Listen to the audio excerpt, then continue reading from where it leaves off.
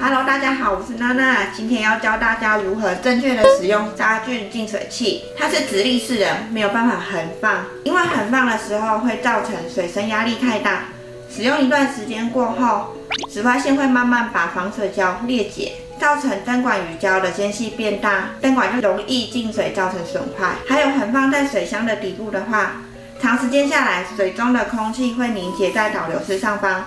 使得水无法流过，造成空烧的情况，所以还是建议你要直放哦。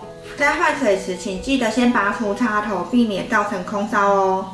使用环境杀菌灯净水器，它一般是在坐在室内的观赏鱼水族箱使用，它没有办法使用在户外哦。如果需要在户外使用的话，请用鱼池专用的。